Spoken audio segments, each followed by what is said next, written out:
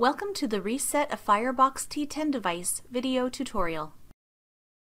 During this video, I'll explain why you might want to reset your device and the steps to follow when returning your Firebox T10 device to a factory default state. Why would you reset your Firebox T10 device? If your device has a serious configuration problem, you've forgotten or don't know its configuration passphrase, or you just want to start over with a new configuration, you can reset the device to its factory default settings. After resetting your device, you can use the Web Setup Wizard or Quick Setup Wizard to rebuild your configuration or restore a saved configuration file.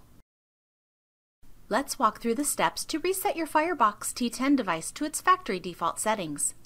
The first things you need to do are power off the device and then find the reset button. Press and hold the reset button while you power on the device. Keep holding the reset button until the yellow attention light on the front of the device begins to flash. When the light begins to flash, you can let go of the reset button. When the attention light stops flashing, power off and power on the device one more time to complete the process.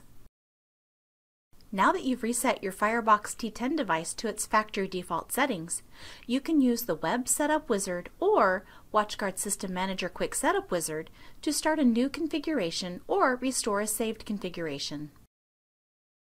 For more information about your Firebox T10 device, go to the WatchGuard website.